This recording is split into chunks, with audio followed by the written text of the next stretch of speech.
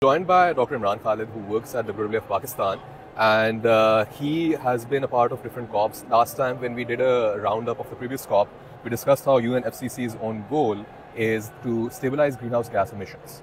But do we think that has happened at this COP or not? So, Dr. Imran, what do you think? Here at the 28th Conference of Parties, when the very first Conference of Party happened, the goal was to stabilize greenhouse gas levels, right?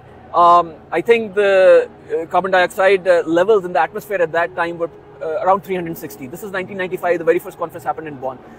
28 years later, we're now sitting in uh, Dubai and we've, we've, crossed 424 yeah. parts per million.